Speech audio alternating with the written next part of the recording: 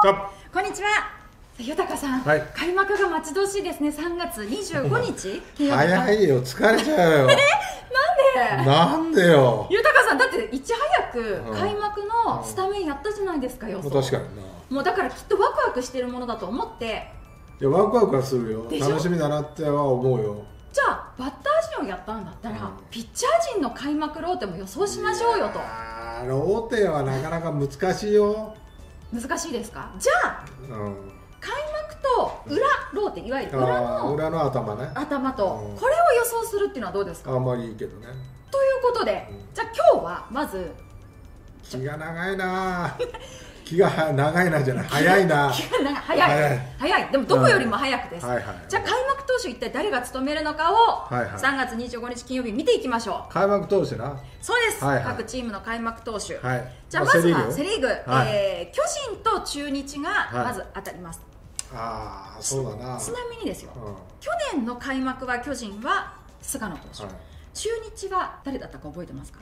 福谷。そうです。いなかったんだよね。あの大野をずらしたんだよね。そうなんです次のカードが巨人戦の頭に持っていくっていうはいだったんですが。そうそうそうそうそうさあどうしましょう？やっぱりあの巨人は菅野だよね。もう鉄板だよね、はい。これはあのどんな投手が来ても逃げるわけにいかないはい。よ、うん、で中日の方は、やっぱり柳だな実は柳投手、うん。開幕ローテの中に入ってなかったんです去年。去年な、はい。うん、でもきまあ昨年はい。確固たるこう実績を作り。はい。でやっぱ抜群の安定感があるよね、うん。うん。まあ大野っていう線もあるけど、はい。立浪監督の性格からしたら柳を持ってくんじゃないかなっていうような感じがするんだよね。その性格というのは？大野っていやーってお得意があるピッチングをするよね、まあ柳もそうなんだけど、まあ、どちらかというと非本塁打が多いのは、はい。えー大野。うん。で巨人っていうのは本塁打で勝つチームだっていうのをもう熟知してるし、はい。立浪監督がね。だからそういう意味では開幕っていうのはやっぱ菅野に投げ勝つというのは、ある程度菅野が万全だとすれば、やっぱ制球で勝負なんだよね。ホームランを打たれない。うん低めに、えー東京ドームでやるしさはい。低めに制球できるピッチャーを1戦目に持っていきたい。うん。で開幕を飾りたい。はい。その後大野だと思うんだよね。あなるほど。うん、じゃあ開幕はここは菅野投手でやっぱ中日は柳投手。柳の安定感に欠けるんじゃないかなっていうような気がするけどね、まあ大野も安定感あるよもちろん。そうですね。関東能力も抜群だしさ、はい。ただやっぱ大野は絶対勝っていってほしいんだよね、うん。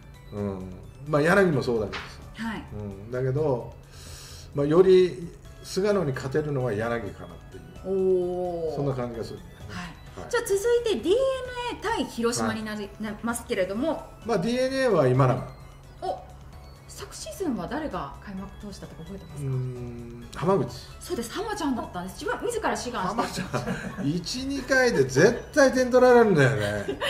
そこをまあと取らなかったら、はい。素晴らしいピッチングするんだけどさ、はい。開幕開幕っていうかもう下手くそなんだよ立ち上がりが。そこだけ？ああそことだけ。だからまあより安定感の高い今永かなって思うよね。ちなみに去年は今永投手はローテ入ってなかったんです怪我だったかまあそういうのもありましたけれどもね今年はじゃあ万全の体制で今まあ入ってこなきゃダメだよね。そうですよね。うん。で広島です。広島はもう大瀬良でしょ。まあ去年もそうでしたしあの、はい。森下っていうのも考えたけど、はい。まあやっぱり大瀬良っていうのを立てるでしょ、おー。うん、広島も先発悩むぐらいいますもんね。いや結構育ってきてるしね。栗投手だったりうん。森下投手だったりとか。そうそうそう、はい。だからあの実力は兼ね備わってきてるから、はいまあそでも大瀬良だろうね。大瀬良投手でやっぱりここは開幕ということで、はい。阪神対ヤクルト。これどうしましょ阪神うは、はい。高橋、おお去年はもちろん入ってなかったんですよ、うん、藤浪投手でしたし、やっぱ高橋の安定感っていうのは、はい。もうできてきてるよね。まあ、去年左で素晴らしいピッチングでしたからね。もうやっぱりもう開幕投手やっぱり若きエースが欲しいなというね力で押せるような、ここは西勇輝投手でもなく青柳投手でもなく、うん。うん、まあ青柳も実力者だし、はい。だけど今後の阪神をこう背負っていくピッチャーは、じゃあ誰なん誰なんだって言ったら、まあ、高橋かなって思うよね。じゃあもうえだまあ、エースになっていくということをだからもうそのぐらいの自覚覚を与えるというかさ、うん。うん。まあ、そうやって育ってほしいなと思うよね対するヤクルトは？まあこれは奥川しかいないでしょう。まあそうでしょうね。昨シーズンのやっぱ奥川の初戦頭に投げてくるっていう。はい。やっぱなんともこう負けないという投手だしね、うん。うん。だから、まあ、この若手のフレッシュな投げ合いっていうのは確かに。すごく楽しみであるよね。ね。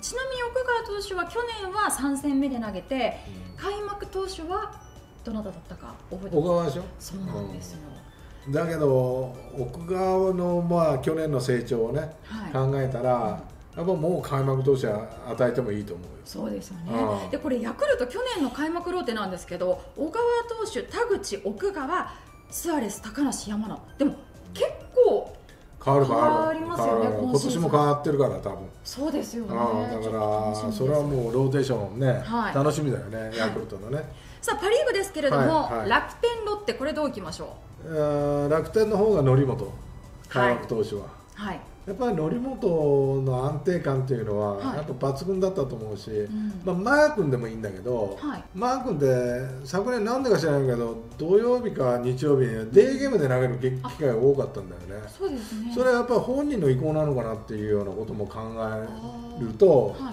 い、やっぱ開幕というよりもやっぱ3戦目ぐらいで投げそうかなっていうあの日曜日に当たるようにっていうことなんですかね。うん、それとやっぱ今年マー君はは少し勝ち星を与えなきゃいけないということで、やっぱ開幕ってその各チームのエースと当たるわけじゃない。はい。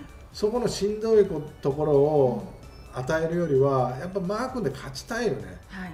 うん、だから3戦目ぐらいがいいのかなっていうふうおおに、なるほど、うん、でロッテは小島？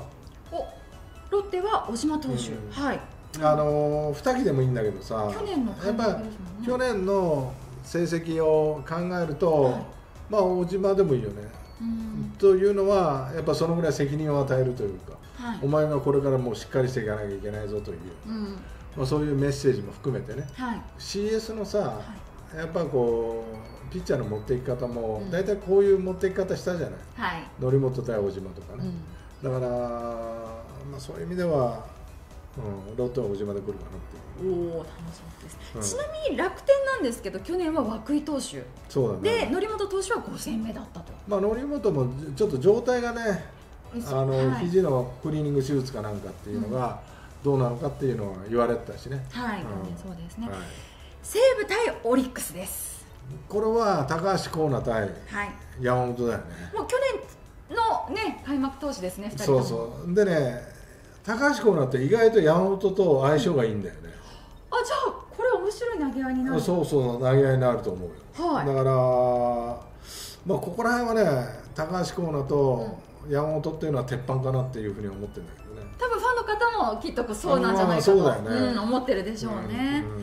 さあラストソフトバンク対日本ハムです。はいあのー千賀と噂は、おお去年そっかソフトバンクは千賀投手じゃなかった。そうそうそう。ですもんね。えー誰だっけ？石川石川だよねはい、うん、だからまあここら辺は千賀万全で来ると思うし今年はね。はい。で噂っていうのは日本ハムのエースだし。はい。ビッグボスは逃げ隠れしないし、うん。おそらく成功法で来ると思うよここら辺は、まあ、成功法というか、はやっぱもう強気だからそうですね。いやうちのエースをぶつけるよっていう、うん。絶対逃げ隠れしないから、い。多分噂で間違いないと思うおおじゃあ千賀投手対上沢投手にここはなるだろうと、まあそうだおね。おうん。面白いですね。まあこれは開幕ローテと。でそうだね。まあ開幕投手今回ですけれども。はじゃあい、はい。裏の裏ローテまあまあの裏は大大事だからな、はい、いわゆる4戦目と言われる火曜日ですけれども、まあまあそうだね。ちょっとじゃあこの火曜日、まはい。あ、第2エースというんですかね。そのチームのまあ、第二エースというか第二エースとは言わないけどとは言わない。うん、言わないけど裏ローテの、まあ、頭を、まあ、第二エースかな そう考えると。